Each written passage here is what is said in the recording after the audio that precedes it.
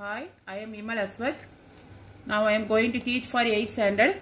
The problem is find x if minus 1 by 2 whole power minus 19 divide by minus 1 by 2 whole power 8 equal to minus 1 by 2 whole power minus 2x plus 1. In this problem the base is same. So it is very easy to find x.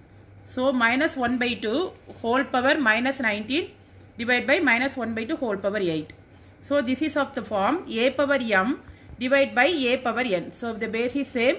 The powers only different. Therefore a power m minus n. The answer is a power m minus n. So we are going to using this formula here.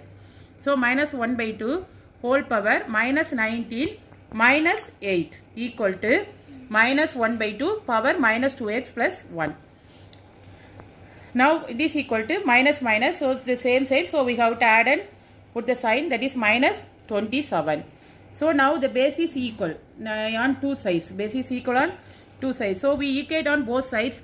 What with the power? We equate the power on both sides. So what we get is minus 2x plus 1 equal to minus 27. So we bring the uh, plus 1 to the next side. That is we have to collect the variable one side and the numbers constant one side. So minus 27 minus 1 equal to minus 28. Here also minus, here also minus. So we can cancel. So we can cancel. So 2x equal to 28. So x equal to 28 by 2. So x equal to 14. Thanks for watching.